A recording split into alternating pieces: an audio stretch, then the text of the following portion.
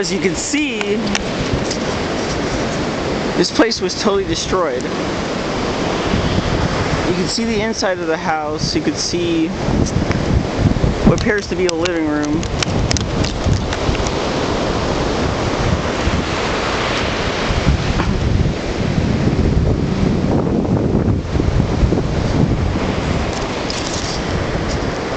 And this is six months after.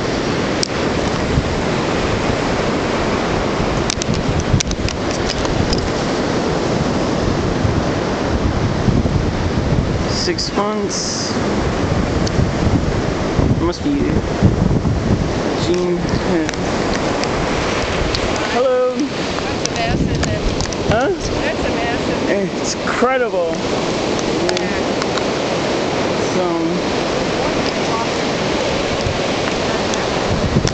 I hope um, you never go through it again. I don't know either. No fun, is it? I, I took pictures like six months ago and it's pretty much the same. I know. It's even it's fine.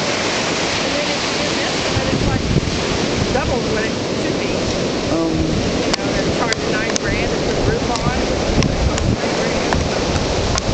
Yeah. yeah, we had our our garage was fixed. Our neighbors and our ours were fixed by the same person.